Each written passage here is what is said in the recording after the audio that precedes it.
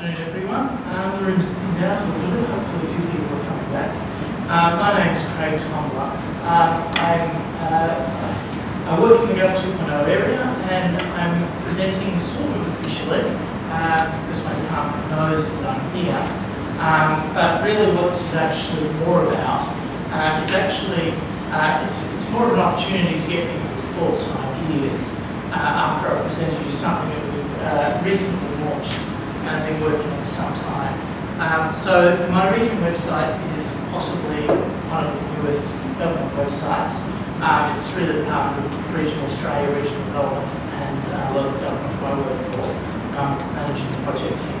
Um, the website was basically established to become uh, sort of a central location for uh, people across Australia to basically be able to go and find government data about their region of Australia, looking at it from geographic perspective, whereas most government websites look at things on a topic-based perspective. So you go to my hospitals to find out hospital information, but only a couple of those might be near where you live, and the rest of them probably aren't that interesting to you a lot of the time. Um, but the idea of, of, my region was that we grab that information, we grab information from all other government departments at all levels of government and then put it together and basically say, okay, if you live in, uh, say, um, you know, the, the, Southern Highlands, here's all the information on the Southern Highlands, on the services government provides in that area, demographic information that we have from the ABS, uh, all types of information on government projects and all that sort of thing together. So that's the part, first part is provide all that information in a single place. Um, the other part of it was to also provide uh, basically an empowerment tool for communities um, across Australia to have conversations with each other and with government in a way that will allow their views to be taken on board by government and used in policy processes. So, you know, definitely people have lots of ways of having conversations out there with their communities. Um, however, it's often hard for government agencies to kind of pick up all those fragmented conversations and actually pull them together in some kind of useful way that's, that can be used as business intelligence inside of government to actually work within the formal processes that we have. Now, it'd be much nicer if actually government were able to actually monitor all of those channels, work out where people were living and what they were saying, what the issues were, what the opportunities were. But frankly, that's just not practical, not now, and it may not be practical in the future. So my region becomes the place where they can have those conversations in their communities, um, and also government is able to use it in various ways. So that's very, very important for us. Um, we are using uh, a number of social media channels. They're more outreach for us. They're ways to basically be part of those conversations, have, have beachhead in those different channels. And the, the idea ultimately is to then have people come back to comment through the website. Uh, because we basically know which region they live in, and it helps us group information that way. So this is basically what the website looked like. Uh, it was a little bit earlier. We have changed a lot of things on the page, and it updates really, really regularly. Um, as you'll see, we've got a really simple menu, um, basically six, six different topics, and the focus on it is either explore the data or participate with your community. Those are the two focuses of the website. We also have news where we're trying to pick up lots of regional news and information that doesn't get picked up commonly through newspapers, doesn't get picked up through other channels. And actually, over time, we haven't got that built in yet, you'll be able to get a regional news feed of the different things happening in your region. Um, so it's a little bit more than a local town newspaper, um, and it's a little bit more focused as well. But the idea is that it provides people with information on what's going on, and that becomes of the context for people to have conversations. The other thing we have up there is ideas, which I'll go through a little bit later. But that's really, at the moment, a feedback tool for us, and it will evolve into basically a system for allowing people to share ideas. So why was it built in the first place? Um, it came directly out of the, uh, the uh, Gillard uh, Labor Party's uh, agreement with the independents. Um, so basically, it became part of the commitment to regional Australia where they basically wanted to empower people uh, across Australia, particularly those who didn't live in you know, major cities, the, the third of the population in major cities, to basically have a bigger say in what was going on in government nationally, and also to try and uh, get information out to those people to say, okay, these are this is what is actually happening in your area that government's supporting. Because people have a fairly low level of understanding about what's going on because government isn't currently providing it very well to those people. Um, so one particular target, and this is for the future target, is it is actually going to provide a spatially mapped um, the, the, the Australian budget. Uh, and that'll be very, very interesting for people to basically say, okay, you know, there's all this billions of dollars spent on various things. How much of that actually gets spent on services or facilities or infrastructure, whatever it is in my region? Um, now that's actually really hard to do. There's, there's basically uh, two countries in the world who've made it work in some level. Um, one in South America and, uh, and uh, Denmark in uh, Europe. Um, and both of them are quite a bit smaller than us. Um, and um, you know, it's, it's only done to a certain level, it's not done in a, in a graphical, you know, map-based, data-rich way. So this for Australia is, is pretty much leading edge. So it's not going to be delivered in the near future. It's going to take a bit of time because we have to firstly, uh, we're with finance to firstly work out how you go about this stuff. And then we have to work with every government agency to say, okay, how do we have to modify government systems to get your, your budgets in the appropriate sort of context. But it is, but it is a fairly important thing, and this is actually you know, fairly bilaterally supported in government. So it's going to be progressing over, over a couple of years. Um, it also, for our, for our department, our department is regionally based. We're the first geographically focused federal government department that our goal is to actually represent all the regions in Canberra and influence national policy so that it reflects the different sort of needs that people in different areas of Australia have. Because um, that sort of identified as a big hole at federal level in that you, know, you make one size fits all policy and this is at least a level lower. There are 55 regions across Australia, so it's 55 sizes fits all. So it helps take it down that level um, at the same time working very closely with states. Um, so we are a central government agency, which is very important in this because it means we get to see and comment on every single um, policy um, or cabinet paper that goes through, and we provide a lot of advice and support.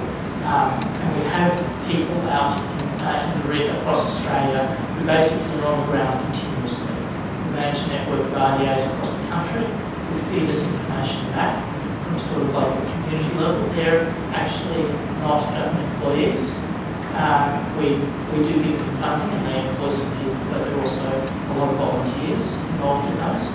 Um, some of them run very well, some of them don't run so well, usual sort of thing you'd expect. But the important thing is that they're people who live and work and own businesses in the region to providing information directly to Canberra, so it goes directly to policy what my region does to extend that is it gives us the ability to then also directly talk to communities, engage with those with the communities, not necessarily through the RDAs.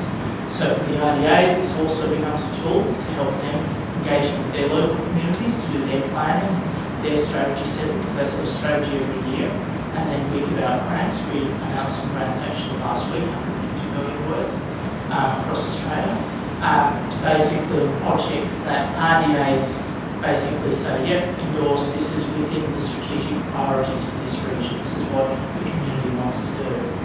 Um, the other part of it is that we're working to make my region a central point that all, uh, that all other government agencies can use to have conversations with different parts of Australia, or with all of Australia at once if we want. So it has forums, it has blogs, and it has an idea system the moment, but we're building more functional. Um, but the aim is that we can say to an agency, well, you want to hold a consultation in this region, or you want to you know, do a listening tour around Australia, why don't we hold, why don't we manage the online component through my region? Because uh, firstly, we don't have to struggle through IT teams to get these things built, because we've already got them in place, we've got analysis systems and other things that are going to support you. And secondly, over time, as more people come into my region and use it, and we have these conversations build up, the business intelligence part of it very, very powerful because we can look back over a number of years and say, this is how community sentiments in a region have changed.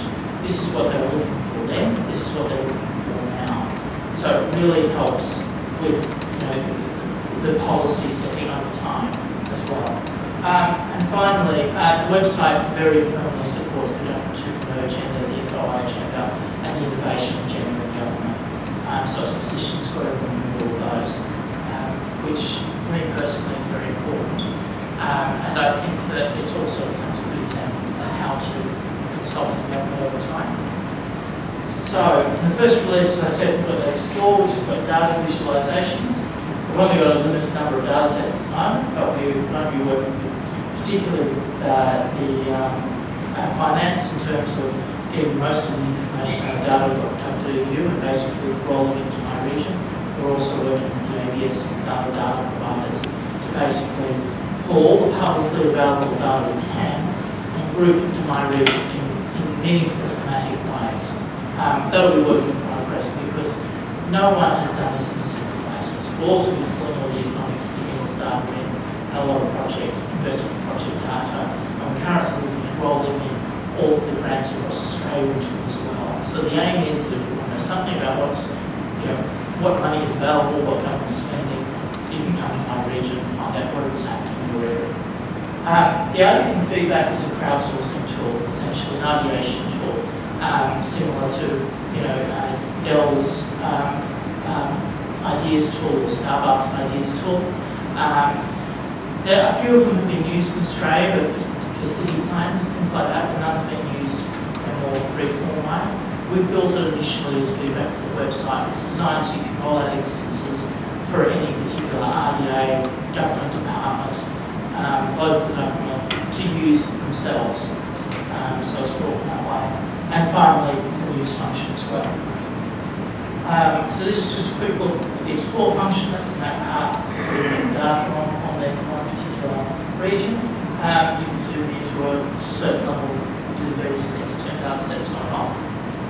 Um, this is a look at forums, that's at a high level.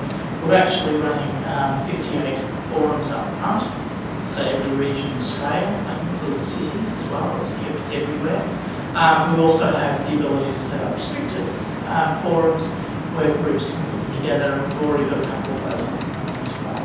Um, and that's important for groups of stakeholders and government. You need to have conversations, not actually confidential, but they need to have conversations before they actually necessarily go out. So a lot of coordination has to. And finally, it's just a quick look at the idea function of how it works. We basically rate, you know, vote things up and down. We have a process flow where things are proposed and they go under review and they're either going to be implemented or not implemented and then they are actually implemented. So we've built that flow in from day one. It's basically allow people to actually see how things step through the process it's not just an ideas mechanism where people can throw in ideas. There's, there's some scrutiny involved in. So, this is all the contact details, but this is where we actually get to the main part of the discussion this afternoon. And that is really for me to ask you guys, what would actually make this sort of facility useful to different people out there, to government agencies, to communities, and audience participation time give a little bit of work. So, Pat. Yeah, um, I work in immigration, and uh, last week we were actually in regional Western Australia, and I had a look at the forums on, on my region, and I understand it's a it's a very new project. Um, two weeks out. Yeah, two weeks out. I know. Um, and, and, I just wondered what the strategy was to um, promote it and, and to, to, build participation because uh, from our experience, we don't have any travel budget. And yeah, I've, I've been pushing for stuff like this here on a DIAC, uh, and I think it's a really, really a great tool. Um, but obviously, last week, you know, two weeks out, it wasn't, it was never going to work.